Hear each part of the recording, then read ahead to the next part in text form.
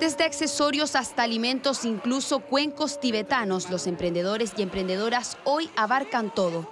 Pero la pandemia le ha hecho un flaco favor al sector que pasa por un difícil momento económico. Ante eso, el gobierno anunció un bono de un millón de pesos para todas las pymes. Mira, es un respiro, porque los arriendos no se detienen, eh, las cotizaciones de los empleados no se detienen el insumo del gasto común, de la, eso no se detiene. Entonces eso nos va a permitir saldar todas esas deudas que veníamos arrastrando y poder reinvertir en materiales que nos permita hacer mayores unidades y vender un poco más. Liz comenzó su emprendimiento en diciembre de 2019. Vende esculturas y bandejas de hormigón en Avenida Italia, pero por la falta de ingresos su negocio está estancado al igual que otros del sector.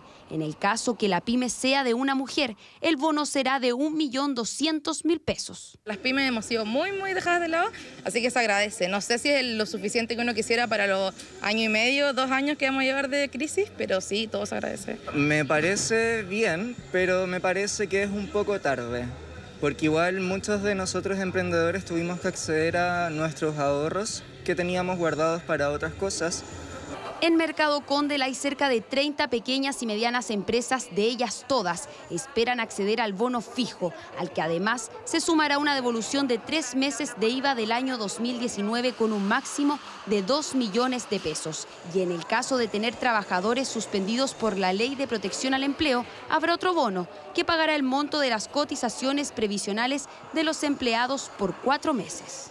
Entonces, para que sea bien amplio, eso va a llegar a cerca de 350.000 empresas más o menos. Y estos son personas eh, jurídicas y empresas creadas. Son las dos. Los requisitos serán tener al menos un trabajador contratado el año 2020 o haber declarado al menos dos meses de ingresos por ventas este año.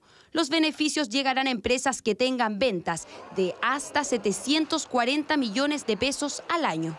En pandemia hemos estado, el año pasado no tuvimos feria, yo trabajé, trabajé, trabajé en mi casa para ahora, para ver salir adelante. Es como fome que pidan tantos requisitos como para poder acceder a los bonos, porque me imagino que habemos varios en mi caso que no podemos acceder a los bonos por lo mismo.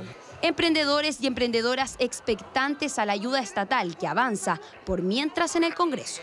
Hoy día se ha podido, de hecho, votar en general y en particular y ha podido, por lo tanto, pasar a sala. Es una muy buena noticia porque nos va a permitir poder despachar esto al Senado durante la próxima semana.